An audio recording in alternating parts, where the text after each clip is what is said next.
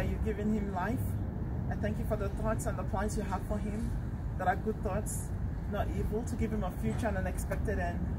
Lord, I thank you, Lord, that you love him so much. You love him, Jesus.